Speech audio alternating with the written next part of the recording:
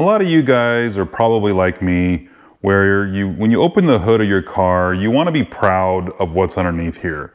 And it takes, you know, it takes a while to get all that done. You've got all the parts you need to buy, the changes you need to make, and you know, you're not going to have the perfect engine bay, you know, on day one.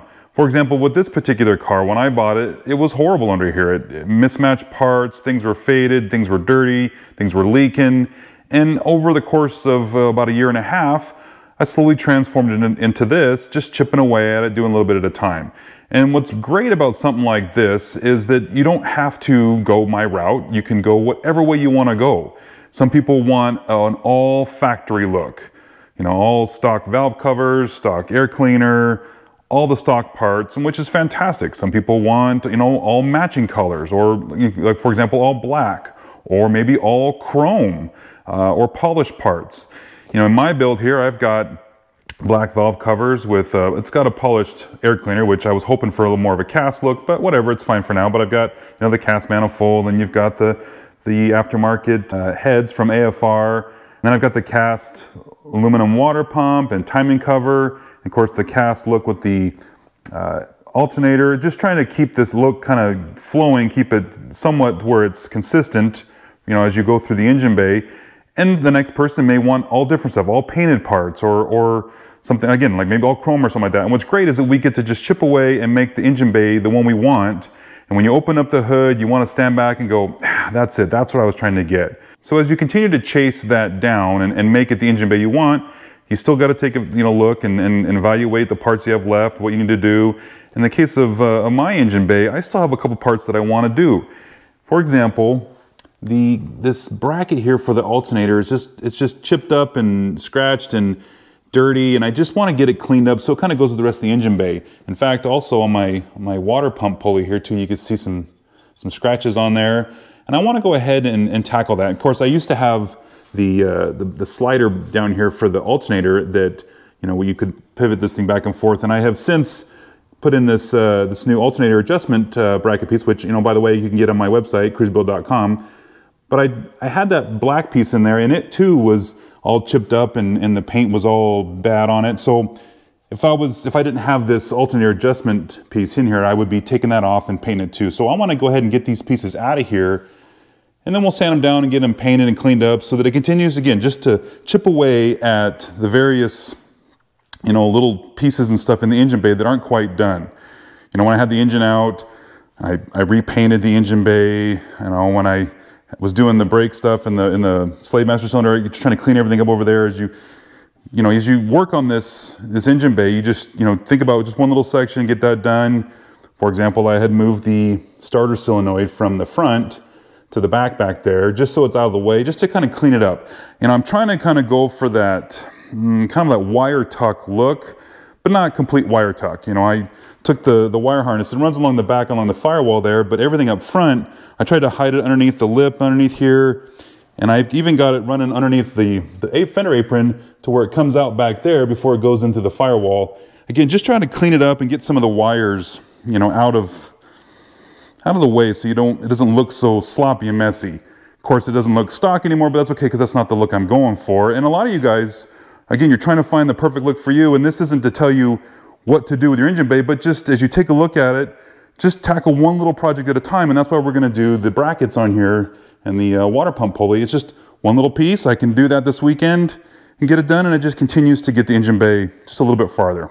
So let's head and get those, get those parts off the car the first thing I need to do is I need to get this alternator belt off the alternator because I got to pull this pulley off. Is unfortunately there's one bolt in here that to get this bracket off for the alternator, you got to take the pulley off to get to that bolt. Now, thankfully, I'm going to be doing the, the pulley anyways in terms of cleaning it up and getting it refreshed, but you still got to take it off anyway. So let's go ahead and get this loosened up and we can get it out of here. And this guy just uses a couple of, of 9 16ths wrenches to loosen these up.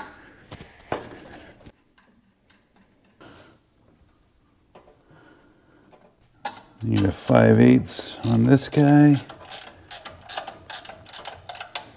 Just to get that guy loosened up. And now we can finish taking this out at the bottom. Now this is loose. Get the belt off. And we're gonna take this guy off. And this just takes a half inch wrench to get these four bolts loose.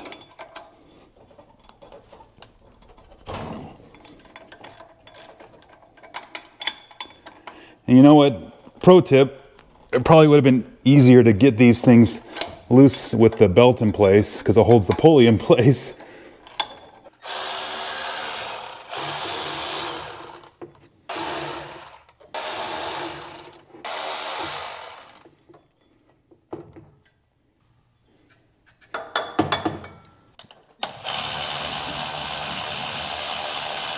Let's finish getting this alternator out of the way. Sit down here. It's not gonna hurt anything. Now we gotta get this bracket off. And then it's just these last two half inch bolts or half inch socket.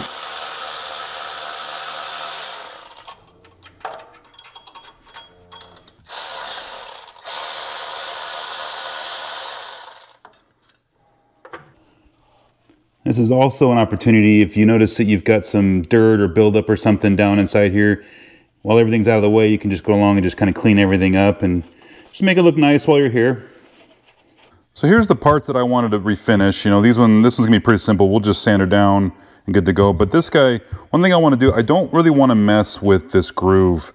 Um, you know, I guess I could clean it up a little bit, but I really don't, what I don't wanna do is put paint in here uh, because I want the belt to grip onto the metal, not onto the paint. So, but this guy, we go ahead and just scuff this up and get it prepped for some paint. The backside, well, it is dirty. You're never gonna see it. So I'm just gonna hit the top side here and then both sides of this bracket. I'm gonna start with something simple like a 100. Um, this might be a little abrasive for, uh, for what we're doing here, but at least it gets the high stuff off, the big stuff, and then maybe follow it up with some 220. And then I might go down to a 400 at the end here just to get everything nice and smooth, but this 220 may be enough to, to get everything that we need.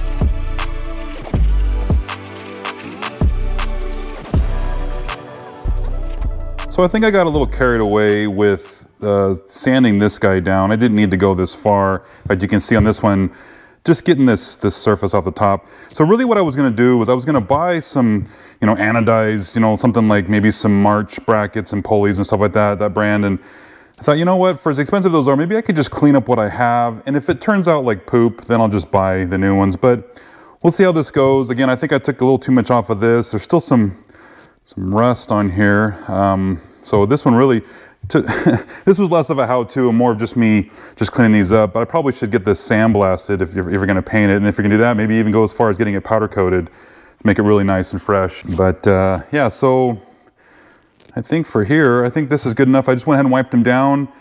I think we should uh, be able to take them outside and uh, throw some paint on here and uh, see how these come out.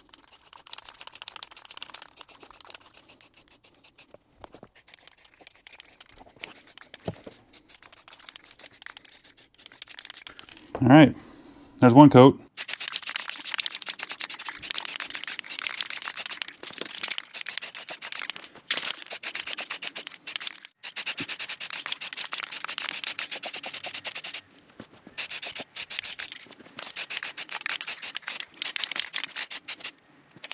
So this, now that the paint's dried on this, this didn't come out as good as I wanted, but it is better than it was.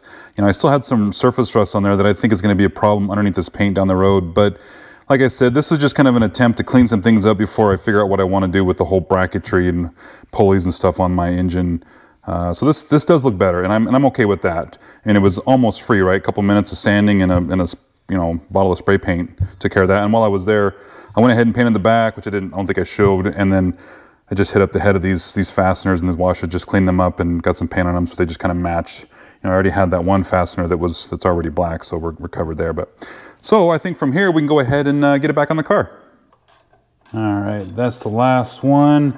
Remember what I was saying earlier about leaving the belt on? It's so much easier just to tighten these fasteners on the front of this water pump pulley with that belt and tension and everything. It just holds everything in place. So, all right, everything is good to go. Uh, we're done, we're installed. Now that we're getting a look at it, again, it's, you know, this is something that I noticed. You guys may not notice it as much, um, you know, particularly because it's my car, but it's just one of those things that as you go around and you start chipping away, at all the stuff, now that bracket's cleaned up and looks better. That pulley's cleaned up and looks better. It's not perfect. I still think I want to do some billet something or other up front, but that's down the road. For now, that was a cheap uh, upgrade or, or just something, again, just to, to jazz up the engine bay as, as I continue to clean things up and organize things and make it look like I was trying.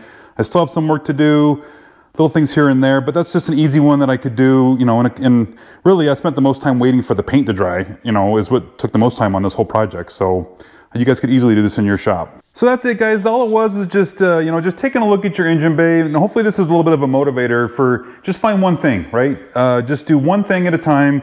In this case, I chose something that I could paint here in the garage. I didn't have to buy anything. Same thing for you guys. You know, if you know you're a little tight on money right now, try to find some, maybe it just takes just cleaning off the valve covers or the air cleaner or something like that, or wiping down the walls, the fender aprons or something like that.